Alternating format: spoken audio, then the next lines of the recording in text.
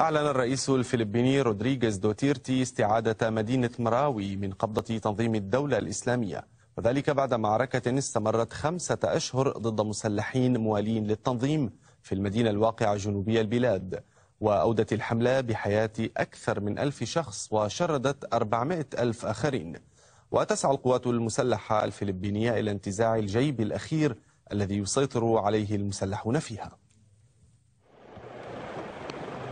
حاول أن يضخ دماء جديدة في شرايينه التي قطعت أوصالها في الشرق الأوسط فكانت خطته البديلة في منطقة مراوي جنوب الفلبين.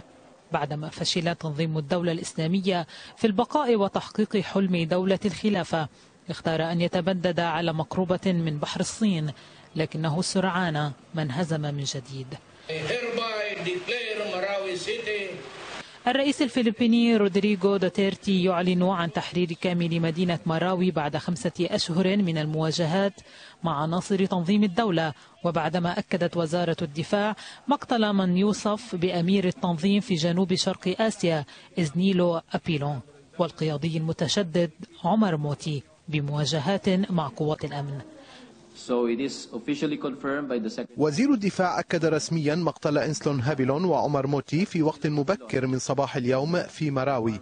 كما تم قتل سبع إرهابيين آخرين كانوا في مجموعاتهم أشهر من الاشتباكات العنيفة حولت منطقة مراوي إلى ساحة قتال شرسة.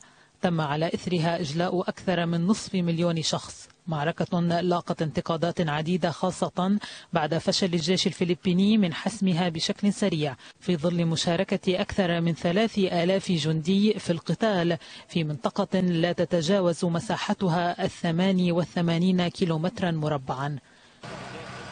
في الوقت الذي يحارب فيه الرئيس الفلبيني عصابات المخدرات وأفراد من الحزب الشيوعي رأى في الخطر الذي يشكله التنظيم أولوية له. مضيفا بذلك خسارة جديدة إلى مسلسل الخسائر المتتالية التي تواجه التنظيم ليبقى التساؤل مطروحا حول البقعة الجغرافية المقبلة التي سيختارها التنظيم بعد مراوي.